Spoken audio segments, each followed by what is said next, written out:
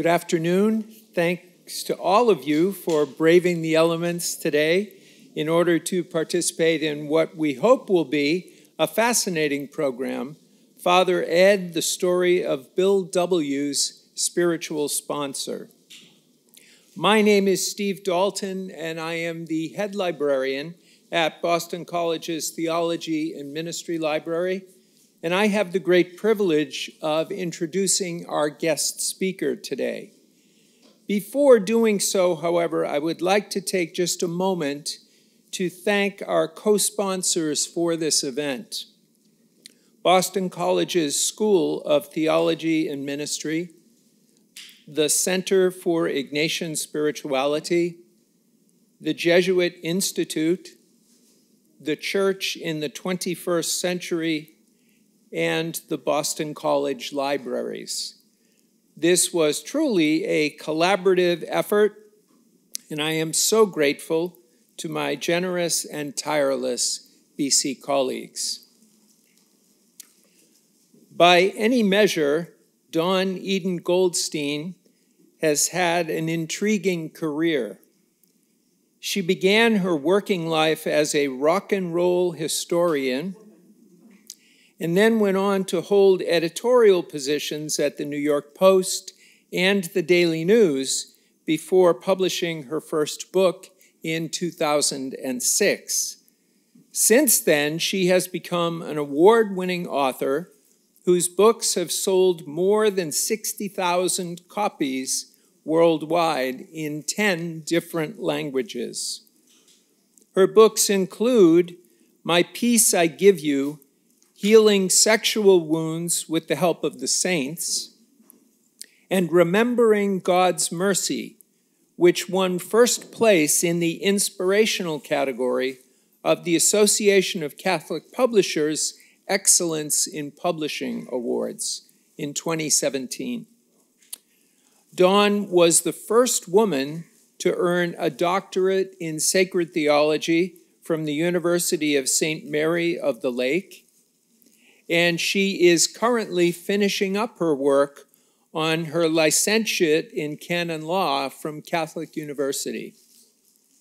With such credentials, it's no surprise that she has taught in universities and seminaries in the United States, England, and in India.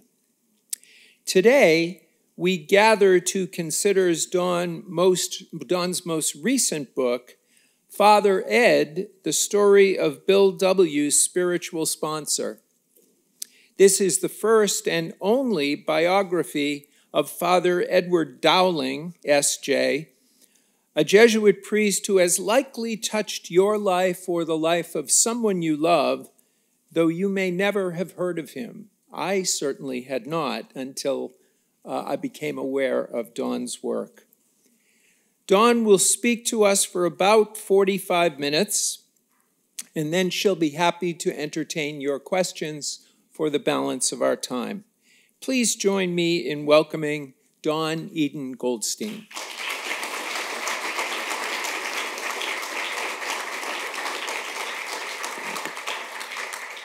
Well, thank you so much, Steve, for that wonderful introduction. And uh, thank you likewise, uh, thanks to all the co-sponsors that he mentioned. You know, there are so many of them that I, that I don't want to trust myself in trying to remember the name of each, of each one for fear I'll mess up. But I'm very, very grateful uh, to you all. It's, it's a great honor uh, to, to be here. Um, now, uh, I've, I've spoken to many distinguished audiences in my years as a Catholic author. I don't think I've ever spoken to an audience as distinguished as this one here at, at Boston College. I just, you know, from hearing from, from Steve about the, the, diff, the different uh, faculty uh, members, uh, as, as well as students and people from outside and staff uh, who, are, who are here. Uh, so it is quite overwhelming uh, for me, even though Steve mentioned my academic credentials. Still, as he also mentioned, I got my start as a rock and roll historian. One doesn't forget where one comes from, which in my case is largely the East Village in Hoboken, New Jersey.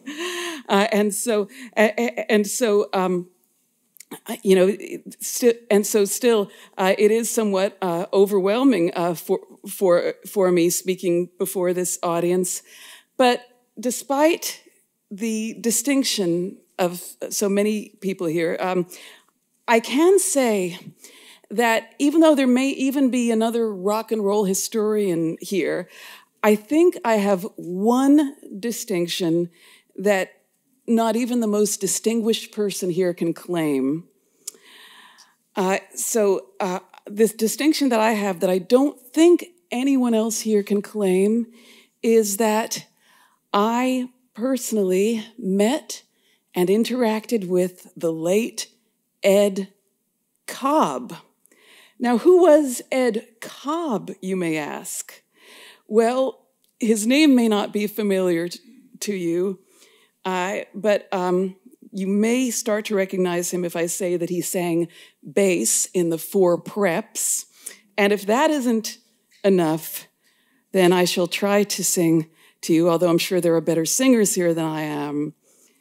Uh, he wrote this song, dun, dun, dun, dun, dun. Yes, the victory anthem of the Red Sox, Dirty Water. I met and interacted with the author of the legend, the legendary author of the legendary Dirty Water by the Standells. Uh, so, you know, there you go, my brush with celebrity, which I'll be more than happy to discuss details of during the Q&A. Uh, but I'm here to speak with you not about Ed Cobb, but about another Ed. Uh, this other Ed likewise has a connection with baseball. Uh, he was a star player in high school and college, uh, and even tried out for the major leagues.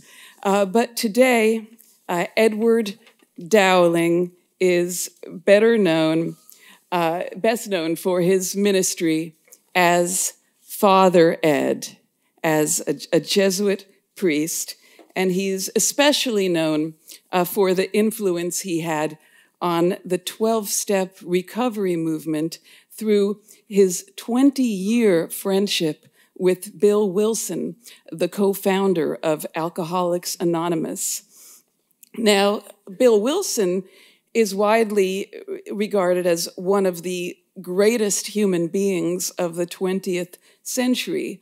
Uh, the AA fellowship that he co founded in 1935 and the 12 steps that he composed have been sources of healing for untold millions of people throughout the world.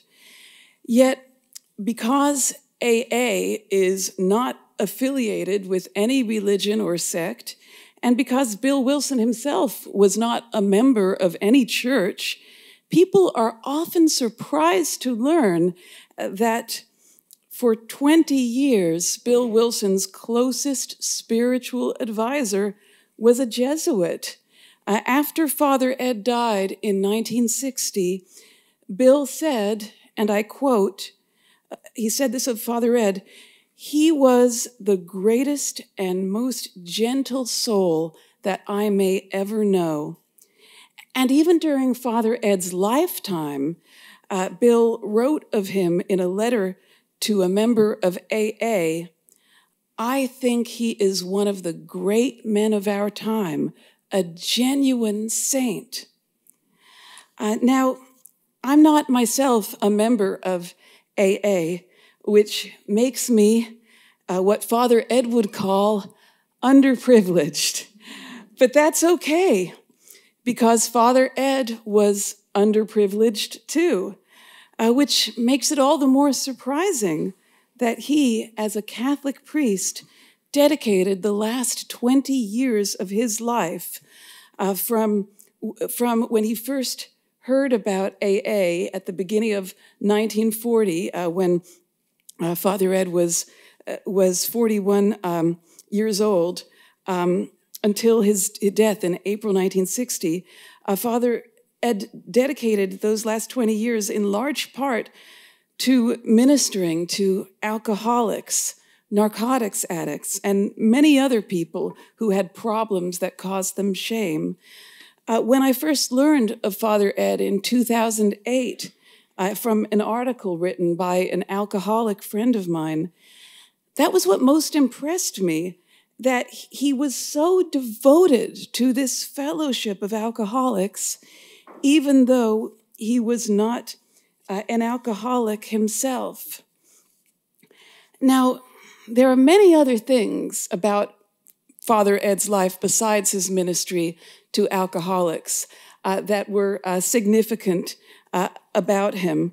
Um, uh, Fa- Father Ed, before uh, his uh, ordination, actually, before he entered the Jesuits, he worked for a year for a daily newspaper, the St. Louis Globe Democrat, as a journalist. Um, once he became a Jesuit, he maintained his ties with journalists. He was a, a member at large of the Newspaper Guild of St. Louis. Uh, and uh, he also was an expert on democracy and uh, for uh, many years was a lecturer in the Summer School of Catholic Action uh, as, as, a, as a Jesuit priest. Uh, and as a lecturer at the Summer School of Catholic Action, he primarily discussed proportional representation, what's now known as ranked choice voting as a tool for democracy. Um, so many of his uh, visits here to Boston College were spent speaking about proportional uh, representation. Um, when, uh, it, it, but you know, it, it's funny. Uh, as was mentioned in the introduction that Steve just gave, uh, there never has been a full biography of Father Ed. Up until now, the only things published about him uh, had to do with his association with Bill Wilson. Uh, in fact, a priest who read Father Ed wrote to me upon reading it saying that he was expecting this book likewise to be just about Father Ed's association with AA. So uh, this priest was surprised upon picking up this 378 page book uh, to find that it takes 90 pages for Father Ed even to get ordained. um, but uh, I'm not going to devote an equal percentage of time to of this talk to uh, discussing Father Ed's uh, AA uh, life uh, because it is his work with AA uh, that his greatest that is his greatest legacy. so, for the remainder of this talk, um, I'll discuss Father Ed's first encounter with AA and uh, his first meeting also with Bill Wilson. And uh, then I'll uh, discuss, uh, lastly, uh, his greatest contribution to AA through uh, his spiritual guidance of Bill, and particularly what Father Ed showed Bill Wilson with regard to the relationship between Ignatian spirituality, particularly the spiritual exercises of St. Ignatius, and the 12 steps.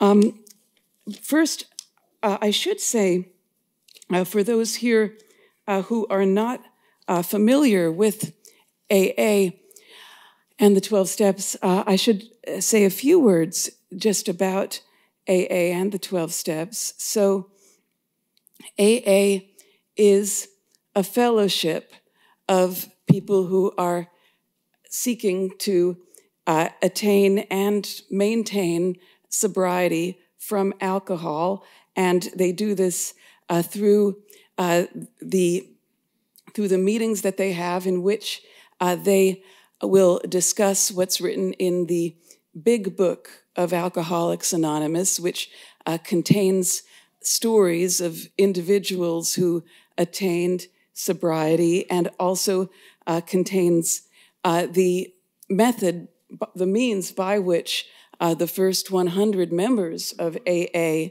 uh, attained sobriety. And these uh, methods have been distilled by the co founder of AA, Bill Wilson, uh, into 12 steps, which uh, basically map out a program. Interestingly enough, alcohol uh, is um, hardly mentioned in the in the 12 uh, steps, uh, it's mentioned only in the first step, uh, which is we admitted we were powerless over alcohol, uh, that our lives had become unmanageable. And after that first step, interestingly enough, there, there's no step that actually says we stopped drinking. Uh, it's that the steps then go on to uh, step two came to believe that a power greater than ourselves could restore us to sanity. Interestingly, not just, it doesn't say sobriety, it says to sanity. And then step three made a decision to turn our will and our lives over the care to God as we understood Him. Uh, that phrase, as we understood Him, is very important. Uh, the AA does not have a conception of God imposed upon uh, him or her. The uh, member of AA takes on uh, for herself, himself, uh, whatever the AA member determines is the higher power to which the AA will surrender. Even an, an, an atheist can be a member of AA uh, through acknowledging any higher power greater uh, than herself, himself. Um, just uh, any anything to which the person can can surrender and can begin to restructure uh, her or his uh, own own life uh, into uh, sanity and and sobriety. So, so AA, since it was co-founded by Bill Wilson and Dr. Bob in 1935 uh, has continued through its 12 steps, also through 12 uh, traditions that, uh, that Bill uh, Wilson uh, composed later on with input from other members. AA has continued in a form that is still largely recognizable as its original uh, form, which is just remarkable and which, you know, for someone who is a, a Christian like myself, certainly suggests some form of divine intervention um, uh, and, and, divine guidance. Uh, certainly, Father Ed felt very strongly uh, that AA had divine guidance. Uh, so I want to tell you first about uh, Father Ed's first uh, encounter with AA. Um, if I could just have a time check from my timekeeper here, because I do lose, lose, track because I get so excited about this. Half an hour. That's what I thought. That's great. Let me just take a take a sip then.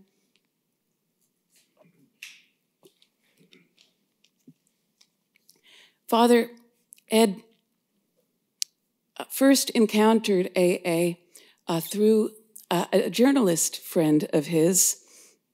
Uh, I'm permitted, even though this journalist uh, was uh, a member of AA, I've been permitted by the journalist's daughter to, to break his anonymity.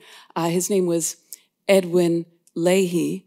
he was at that time a leading news reporter for the Chicago Daily News. he, and, he later became uh, really the nation's uh, leading Washington, D.C. reporter uh, as a reporter for the Knight Ridder Wire Service. But in January of 1940, uh, Ed Leahy was uh, a drunk whose drinking had caused his wife to become uh, estranged. She had run back to uh, stay with family and taken uh, the couple's two young, very young daughters. And Leahy's um, boss had all at the Chicago Daily News was threatening to fire him if he didn't dry up. Now, Father Ed at that time, it was nine years into his into his priesthood. Uh, he was uh, working at the Queen's Work, which was uh, a Jesuit apostolate uh, in uh, St. Louis, Missouri, which is where Father Ed was from and spent almost his entire life. Uh, and Father Ed was ostensibly an associate editor at the Queen's Work. It was a publishing uh, apostolate. But in fact, he was, uh, in the word of a Protestant uh, newspaper uh, friend of his, uh, he was and he was God's ambassador to humanity. Uh, Father Ed, thanks to the kindness of his boss, who was another great Jesuit, Father Daniel A. Lord, Father Ed, when he wasn't touring with the Summer School of Catholic Action or giving other lectures on democracy, he was sitting in his office at the Queen's Work, and the world was coming to him uh, with problems, people with all kinds of problems, because they sensed that here was someone who, no matter what they had done, uh, would understand them and would find some way to help them, often practical ways. Father Ed knew people at City Hall and could make phone calls and help them. He was a true reporter uh, in that sense. Uh, he kept those talents of investigative uh, journalism. Uh, but most of all, he helped people spiritually. There was a certain gravitas about Father Ed uh, in that uh, people could even see looking at him that he was a man acquainted with pain. Um, as I mentioned, he had uh, been uh, a baseball player, a star baseball player through um, through high school and college, and he continued to be quite athletic as a young Jesuit during his novitiate. Uh, he was considered the star soccer player in the in the novitiate, which was quite a lot uh, in the uh, Jesuit novitiate in St. Louis in the late 19 uh, teens, uh, when uh, the novitiate numbered dozens of, of strong men, many of them veterans of World War I. But when Father Ed had just made his first vows at the end of the novitiate, when he was 23 years years old, in October 1921, he was taking a walk with another uh, Jesuit uh, junior when he was, uh, he felt a twinge in his leg, which would only later be diagnosed as a degenerative uh, form of arthritis, very severe form called ankylosing spondylitis, uh, so bad that by the time Father Ed was 30, he was walking as though he had a steel pole up his uh, spine because his um, his uh, spine had become calcified, uh, and then his leg uh, became calcified too, so, so that uh, around the time of his ordination in 1931, uh, he was walking with a cane. Uh, but Father Ed used to joke about it. He didn't want people to think that he was in constant pain, which he was. he would joke that he was turning into stone or that he was becoming his own tombstone. Uh, so this priest who was so known for helping people with problems uh, was contacted in January 1940 by uh, the nun in, you know, you have to know behind every good work there's a nun somewhere. Uh, and in this case, it was the nun uh, who was at uh, the St. Uh, Vincent's or- orphanage in Chicago, and she had been the one who had placed two little girls in the reporter uh, Edwin Leahy's uh, home, and and uh, she was concerned that now this nice Catholic couple, the Leahys, were estranged due to Ed Leahy's drinking. So uh, Father Ed worked the magic that he was known for and managed to convince Ed Leahy's wife, Grace, to come back, and he managed to extract from Ed Leahy uh, a promise that he would no longer drink. But um, that was all that Father Ed could do at that time in January 1940 because he didn't know about Alcoholics Anonymous. Uh, there were very few chapters of AA uh, apart from uh, New York, the ones in New York City, Akron, Chicago. There was no AA in St. Louis at that time. Thanks to Father Ed, there very soon would be. Um, but uh, at that time, uh, there was no um, known treatment for alcoholism that worked. There were some extreme so called treatments uh, that doctors were trying, such as electroshock therapy, uh, even uh, frontal lobotomies. uh, but there was nothing that had been shown to work. And whatever one may say about Alcoholics Anonymous, and nowadays uh, one will see many articles from people saying AA is overrated, there are other treatments that are shown to work better, so on. But one thing is for certain that no one can even say now that there is something that works better than AA if it wasn't for that AA was the first treatment for alcoholics ever shown to work, to work at all. It's because of Alcoholics Anonymous that alcoholics, these people who were so hopeless that all they could look forward to was being eh, locked up in a sanitarium for the rest of their life, it's because of AA uh, that these men and women have hope. And through the extension of the 12 steps to people with other kinds of problems, which is again largely through Father Ed being the first person to speak of AA's 12 steps as being valuable for anyone and not only alcoholics. Uh, but it's because of AA and the 12 steps uh, that alcoholics and addicts today can have hope, can have hope from any treatment at all. So, uh, with uh, a blessing from Father Ed and with a promise to Father Ed that uh, that Leahy would would uh, go to communion, uh, receive communion regularly, and confess regularly. Uh, Ed Leahy and his wife Grace and their two daughters went went back from Father Ed's office at, in St. Louis to Chicago, and a few weeks later, uh, Father Ed um, made a stop in Chicago on his way to give talks uh, in the Northeast uh, to see how Leahy was doing. And he was very happy to hear that Leahy had not had a drink in those few weeks, but he grew a bit concerned uh, when Leahy told him that he had been hanging out with his old drinking buddies. In fact, he had been seeing a lot of them in regular meetings, uh, including many people uh, such as uh, his friend uh, Clem and Luke uh, many, you know, of, of these people um, whose first names are well known now to people in Chicago AA, uh, and these people who were uh, Leahy's colleagues, um, Leahy was now meeting with in this group called Alcoholics Anonymous.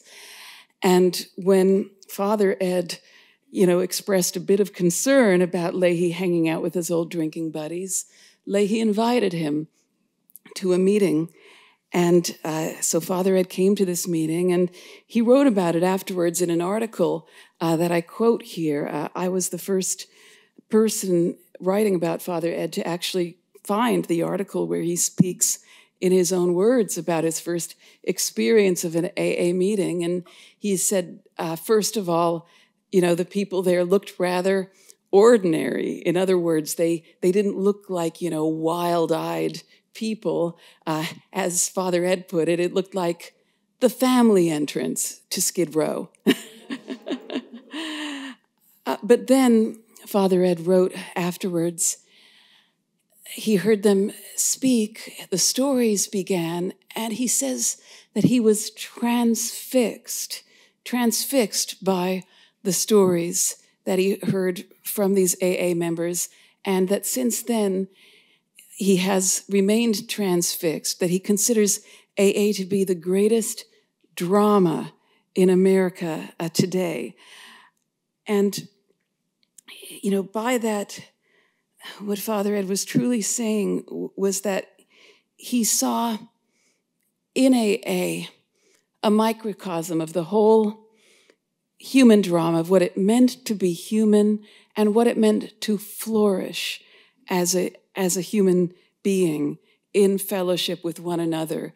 He sensed immediately that he was sensing some kind of spirit that was present in the early Christians, which is quite interesting, you know, for an alcoholic, for an AA member to hear, uh, because AA members who are familiar with their history know that uh, Bill Wilson first became sober uh, in his encounter with a, a, Protestant sect called the Oxford Group, uh, which was initially known as the first century Christian uh, Fellowship. Uh, now, Bill Wilson didn't stay involved uh, in uh, the Oxford group, and AA, as I mentioned, is um, definitively and and and rightly proudly uh, not officially uh, affiliated with any with any group. But um, there was a sense for Father Ed and his encounter with AA members of being in the catacombs, uh, and afterwards um, he he, he uh, took a copy of the Big Book back with him to Chicago. The Big Book had only been published for a year at, at that time. And Father Ed showed uh, the big book to a fellow Jesuit who was uh, an, an alcoholic, um, Father uh, John Markoe, who is uh, better known today for his work with his uh, brother, Father, also a Jesuit, Father William Markoe.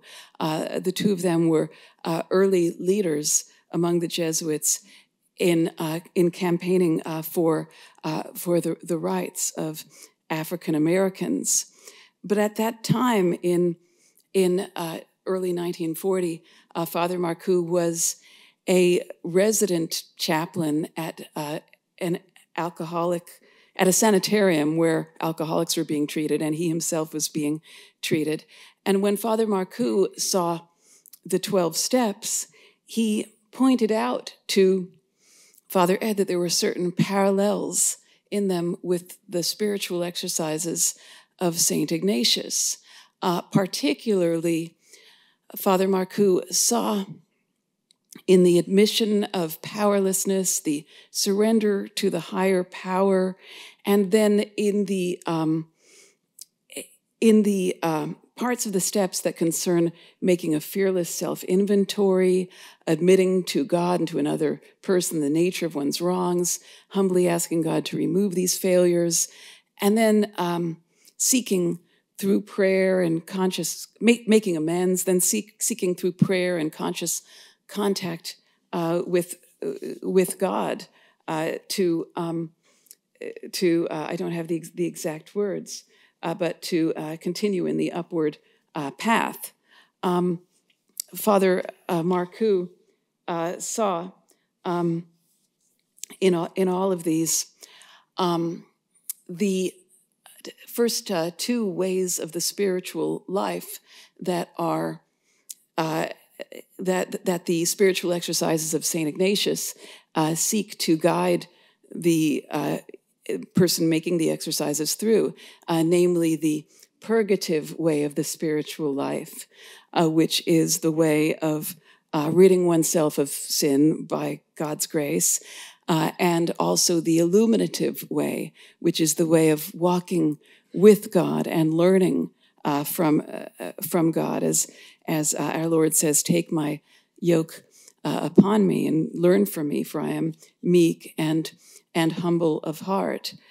Um, so uh, when Father Ed was enlightened by Father Markoe as to parallels between the 12 steps and the spiritual exercises, Father Ed was intrigued uh, because as a young Jesuit, he had been fascinated with the spiritual exercises. In fact, he had written his master's thesis at uh, the uh, at St. Louis University on uh, the psychology of the spiritual exercises as a means of training the will. Uh, so, Father Ed had specifically been intrigued by the spiritual exercises as a means for training oneself to um, uh, to uh, rid oneself of vice and to grow of grow in virtue. So he became fascinated with the 12 steps because he saw that he came to see that through human history, God, in different ways, has been trying to impress upon human beings the way to, to grow and walk with God, and that one of the great ways through which God tried to impress this upon human beings was through um, through the the triple via that spiritual theologians came up with of the purgative, the illuminative, and finally the unitive way, which is the, the unitive being um, the height of the spiritual life, the pinnacle of, of, of being so close with God that nothing would, that one would want nothing to separate one uh, from God. Um, and so Father Ed saw that um, the spiritual exercises were one way in which God had enlightened a human being to help other uh, human beings um, through this triple way. And Father Ed believed that Bill Wilson must also be this a great spiritual master to have likewise been given this way and but that through bill the difference was that this way was now expanded so that it could be taken up not only by catholics uh, but by every uh, human person of good of goodwill. Um, uh, do i have about uh, 15 20 minutes left 12 minutes. okay. Um, so, so Bill sought out this great spiritual master, Bill Wilson. I, I tell the entire story of that uh, in, in here. Uh, I, I will tell you that at the time that Father Ed met Bill, he found Bill in a sour and frustrated mood. Uh, Bill would later say that he was on a dry drunk. Uh, this was November of 1940, Bill was very frustrated that AA had yet to take off and that most of the copies of the big book that had been printed were, as the, at that time, still gathering dust in a warehouse. Um, when Father Ed um, came up to see uh, Bill in Bill's uh, room where he was staying at the AA clubhouse in New York, Father Ed said to him, I'm intrigued by the connection between or, or parallels that I'm seeing between um, your 12 steps and the spiritual exercises of St. Ignatius Loyola. And uh, Bill responded, Never heard of him. and Father Ed had the same response that you just had. He laughed, and that broke the ice uh, between them. And uh, before Bill knew it, he was opening up to Father Ed about his frustrations. Uh, Bill later admitted that he uh, did what uh, AAs call uh, taking the fifth. He took his, made his fifth step um, with uh, Father Ed, the fifth step of admitting to God and to another person the nature of his wrongs.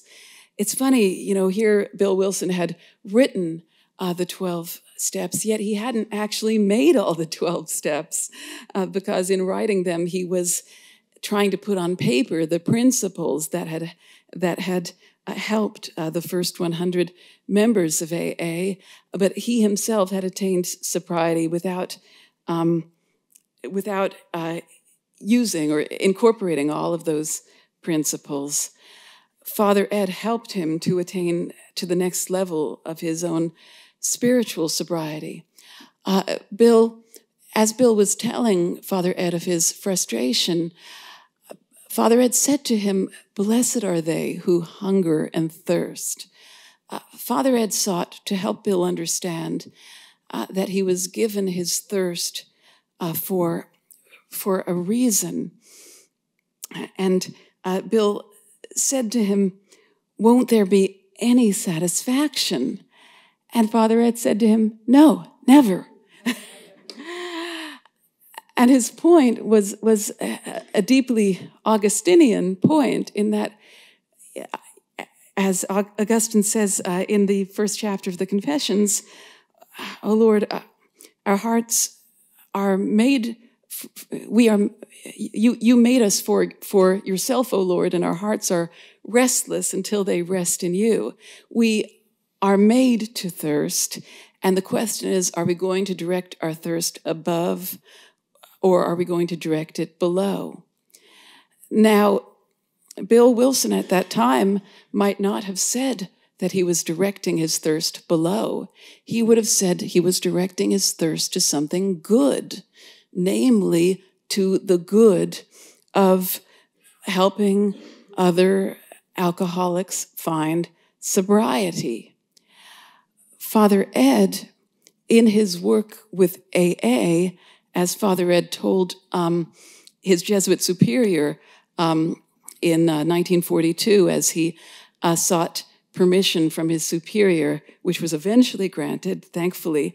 Um, he sought permission to continue his work with AAs, and he attributed uh, his uh, success with AAs to uh, what Father Ed called a, a, rather free use of St. Ignatius Loyola's rules for discernment uh, for the second week of the spiritual exercises.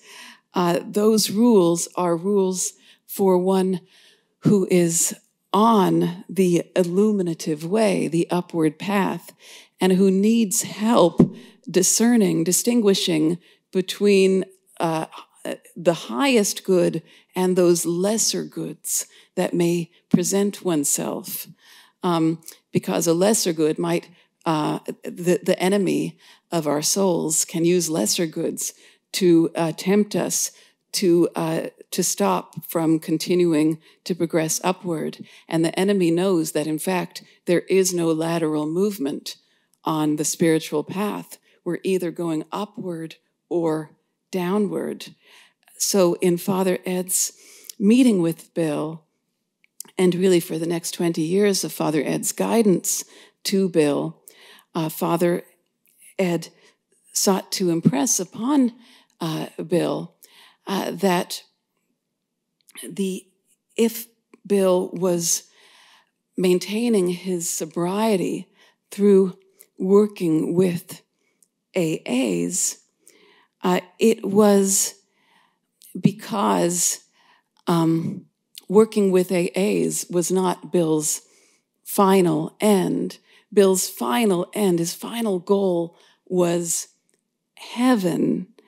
And any um, satisfaction that Bill received in working with AAs was a taste of the satisfaction that he would receive in its fullness in heaven.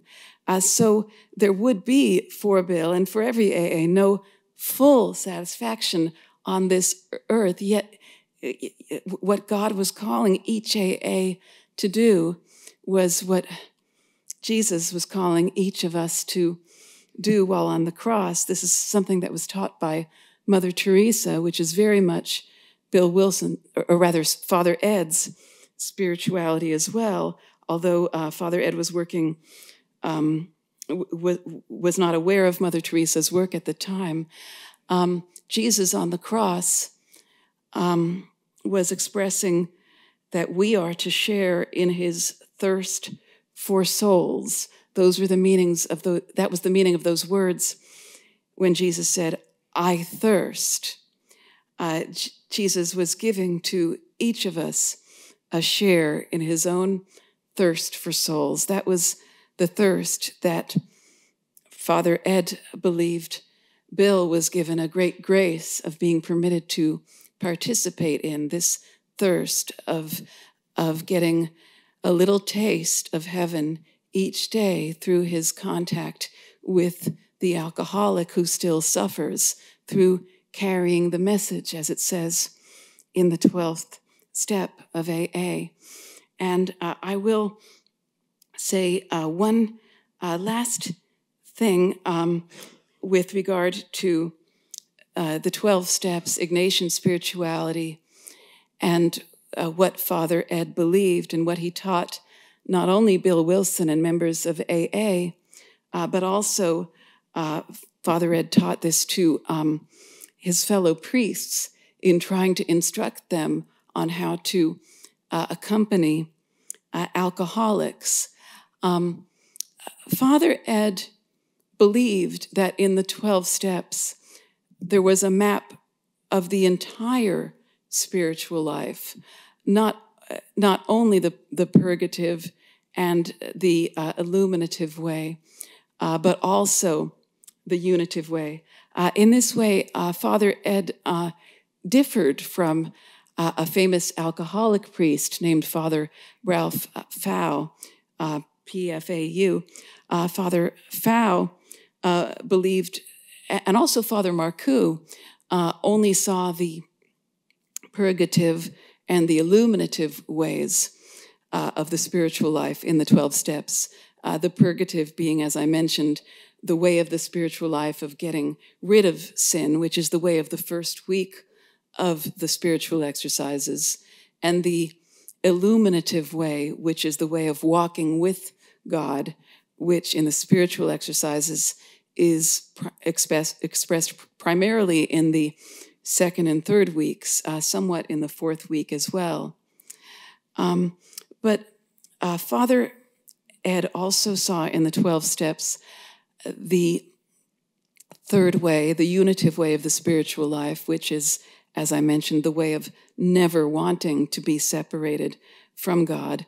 In the spiritual exercises, uh, the unitive way is expressed uh, in the Suscipe prayer, uh, which says, Take, Lord, my entire liberty, receive my memory, my intellect, and my whole uh, will, all that I, all that I am, all that I uh, that I possess comes from you. I, I, give it all back to you and surrender it all to the to surrender it all to the guidance of your holy will.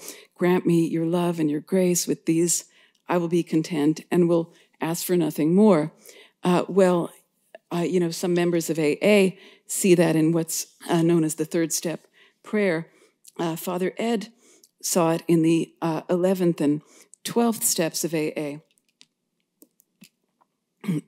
the 11th uh, step being sought through prayer and meditation to improve our conscious contact with God as we understood Him, praying only for knowledge of His will for us and the power to carry that out. That is right there in the Suscipe. Grant, grant me thy love and thy grace. With these I will be content and will ask for nothing more. And likewise in the 12 steps, in the 12th step, having had a spiritual awakening, uh, originally in, in, Father Ed's um, time when he, Father Ed first heard the steps, it was having had a spiritual experience, which even uh, more emphasizes that personal encounter.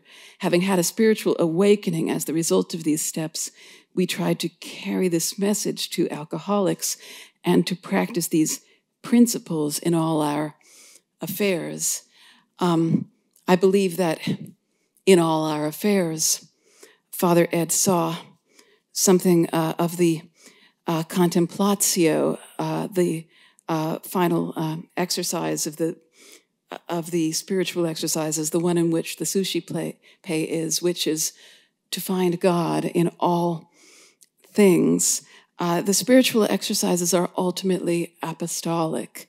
It's ultimately about, uh, in the words of Pope Francis, who was not the first to say this, going forward, going outward, um, taking what one has and and going outward in an apostolic uh, fashion. And that is likewise uh, the goal of a of AA of the twelve st- steps, which is carrying the message, going outward.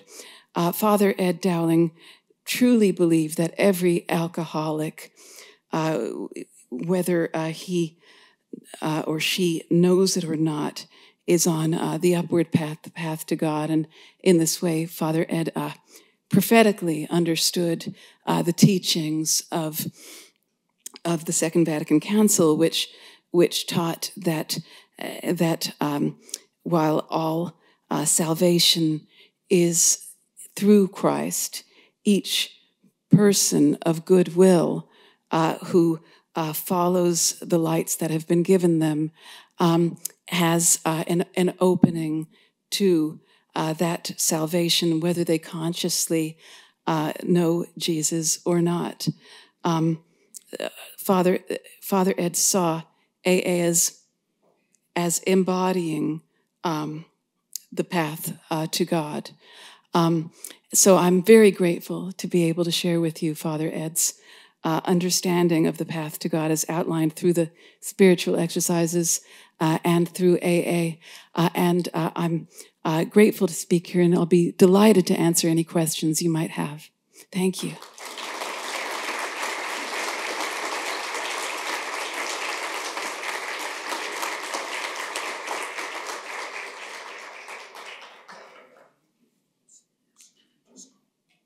I understand that there are microphones, or there, there are microphones out there. Did you say yes? Uh, so if anyone would like to ask a que question. Uh, uh yes, uh, up here, is there a microphone that could be brought? I guess, especially since this is being recorded, it's good to um, it's good to have every every uh, question uh, recorded. Thank you. Did I miss it, or did Father Ed ever have a drinking problem? Uh, no, uh, Father Ed was what he himself would call underprivileged, uh, in that he uh, was not an alcoholic.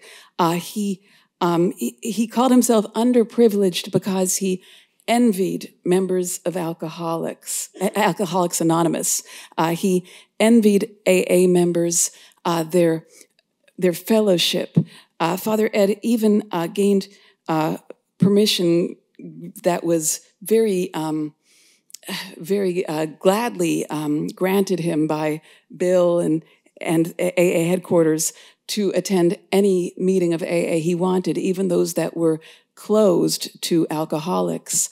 Uh, so wherever Father Ed traveled, uh, he would attend AA uh, meetings. Uh, he even wrote to Bill at one point saying that he had used AA, he was using AA shamelessly as a lonely hearts club.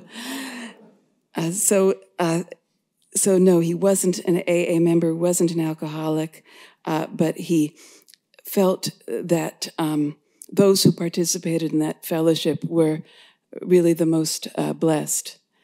Uh, th- thank you for, for, for asking, because I think it's very important to em- emphasize uh, that all the dedication with which he engaged in that ministry was as someone who was uh, from the outside.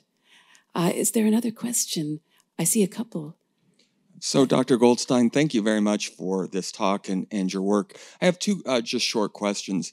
Uh, in the Soul of Sponsorship, there's a reference to a chart that Doc, uh, the Father Ed had in uh, his office there in St. Louis in the Queen's work that showed the relationships between the spiritual exercises and the um, and the 12 steps. And when I read that, I spent like 30 minutes online trying in vain to find it. I'm wondering if in your research you were ever able to recover or come across that.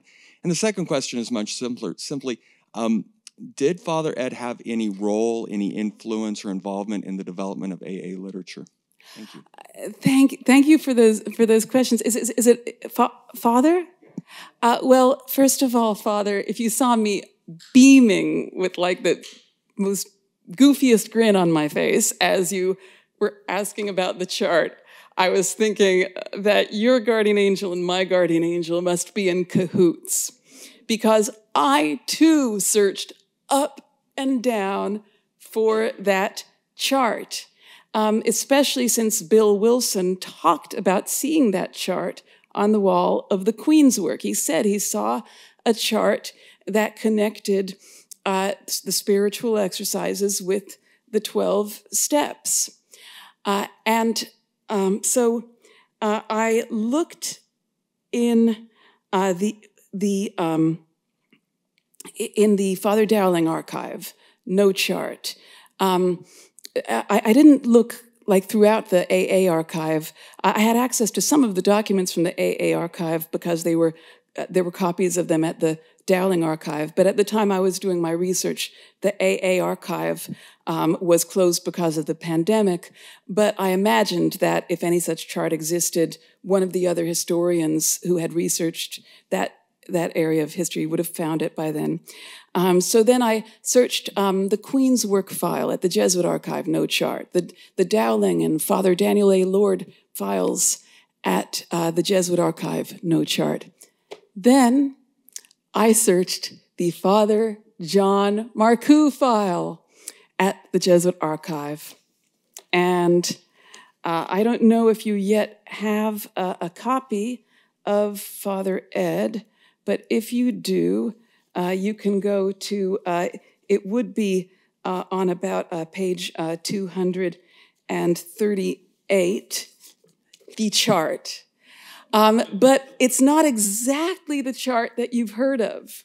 So, what this is, is in 1930, so you have to picture Father Dowling was doing his MA thesis in the 20s and and he did it on uh, the spiritual exercises and he wanted very badly to do his, his dissertation for his doctorate on, this, on the spiritual exercises. And he was prevented because um, he wanted to do it on the psychology of the spiritual exercises, and he was told Jesuits don't do psychology.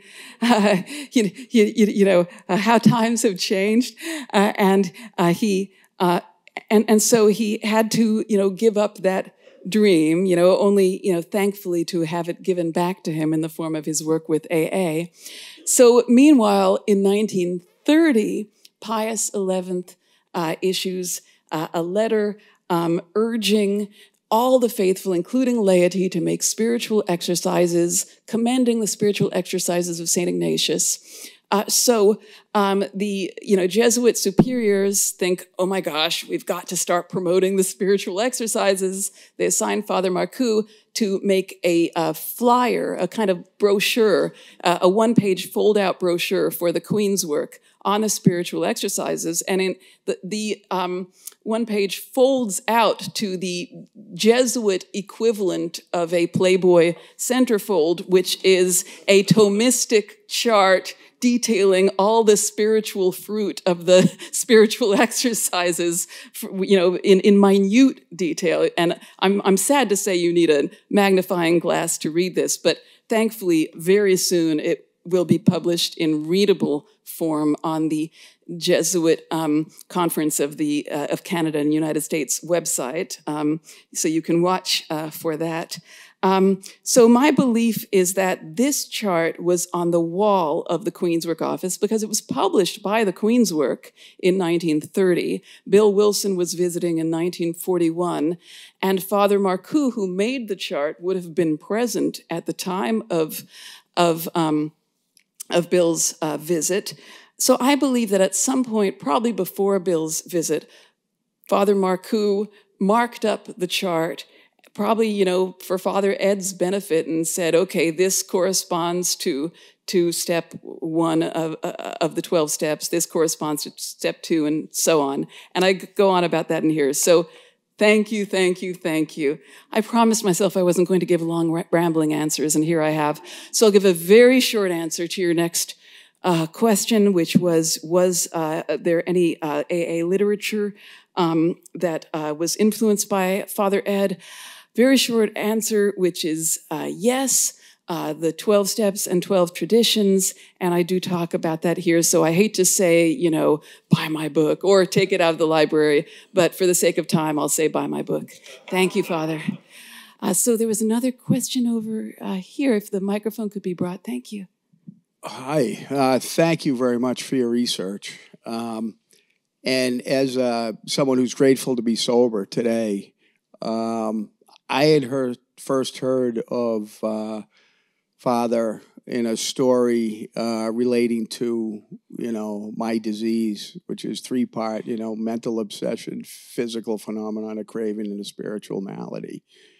But the there was an instance if you came across. I'm just curious if you came across where apparently at some point he had a strong affection for either strawberries or blueberries, um, which, which, kind of I was able to relate uh, due to that phenomenon, a craving part of it, and uh, it was almost fatal to him. But uh, I was just curious if that in your if you also came across that because it made it instant re, instantly relatable to to me. Yes, I did come come across that. Um, I I do talk in Father Ed about um, about Father Ed's um, problem with what he himself called called gluttony. Uh, I talk quite a bit about it. I think the strawberry story, the specific story, I don't tell only because um, there's a, another a, a, very good book called The Soul of Sponsorship, uh, written by a, a Jesuit, Robert uh, Fitz, Fitzgerald, who I believe had some personal knowledge of recovery. And in that book, which is devoted uh, solely to um, to uh, Father Ed's correspondence with Bill Wilson, he he tells that story, and and I I kind of I wanted readers to have that joy of finding that there was still more to learn about Father Ed after reading this. So I thought, well, I'll leave the strawberry story for them to discover there. But um, but yes, uh, there, Father Ed uh, says that not only on that occasion, but apparently another occasion as well, he he was anointed for gluttony, which means that he he ate like so much that he was actually at at death's door because he was a, a sick man anyway because of his his his disease his disease um, the ankylosing spondylitis also you know and his lack of mobility you know led him naturally to to obesity and and to heart uh, issues. Uh, and it wasn't just um, food that he had a problem with. Uh, it was also smoking and he used the 12 uh, steps to uh, arrest his um, smoking habit. Uh, and I, I, talk about that uh, too uh, in here. And so, yes, he is very relatable uh, for that. But I, I, would say, you know, more than that, um, Father Ed had a, a, real thirst for, for fellowship. The, the more that I've contemplated him, and, you know, I've had some time to reflect on his life after writing this. I, I finished this, uh, writing this book about a year ago.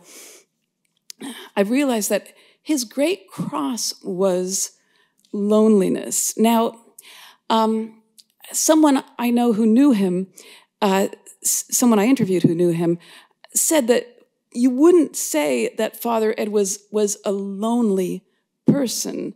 Um, Father Ed lived solitude, which Father Ed himself was the first to say was not the same as loneliness. When you have solitude, you are not alone, you're alone with God.